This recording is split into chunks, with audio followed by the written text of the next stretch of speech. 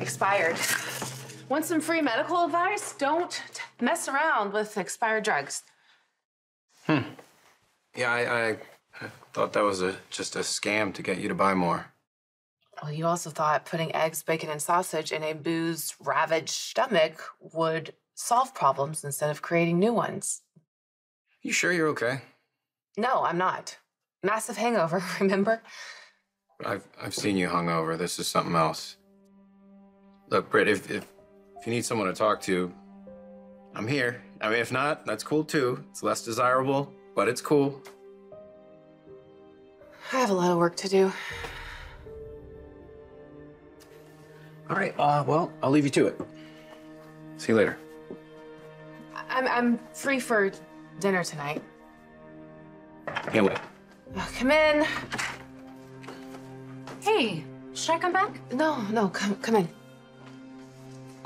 Is this about the necklace? I hope so. Maybe I should stick around, considering it was my father's, and now maybe it's mine.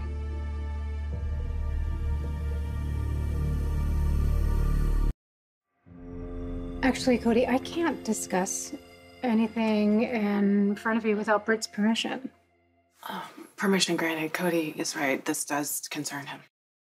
That's it's not gonna be a problem with you, is it, Sam? No, never my client once.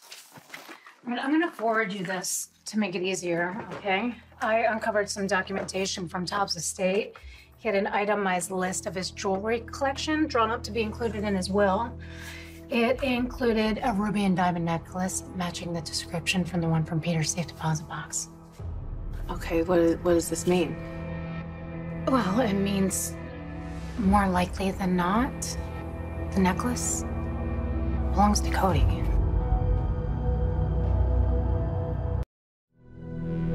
So, Faison or Peter stole the necklace? No, not necessarily. But I mean, you said that I said that the documentation that I found proves that the necklace was in Tobbs' possession at the time of his death, but it doesn't rule out that Faison could have purchased it from the estate. But I mean, wouldn't there be a record of that sale? It's it's worth 35 million. Well, there may be evidence of a third party legally selling the necklace. I just haven't found it yet. But it's more likely that the necklace, along with the rest of Tobbs' collection, was left to any heirs that he may have had. And that's me. If there are no other heirs.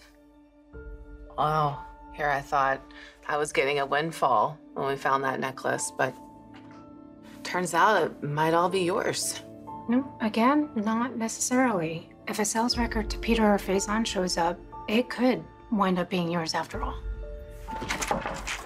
Hi. Pardon me. Dr. Westbourne, I need a consult. Excuse me.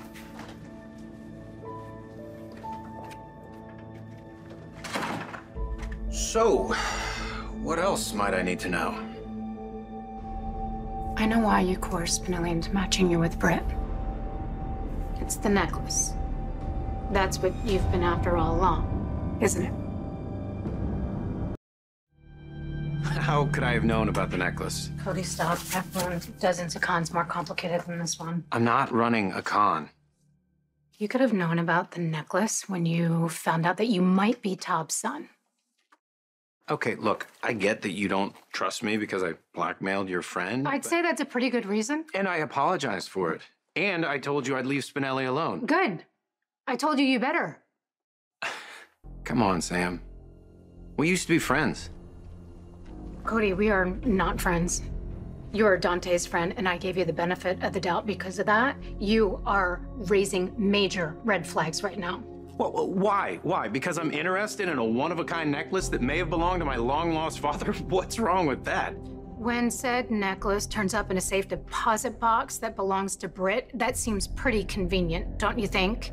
And then you use blackmail to be paired with her. I don't know. That certainly seems like an agenda. Well, no one's squeaky clean. I'm not, you're not, and not even Dante.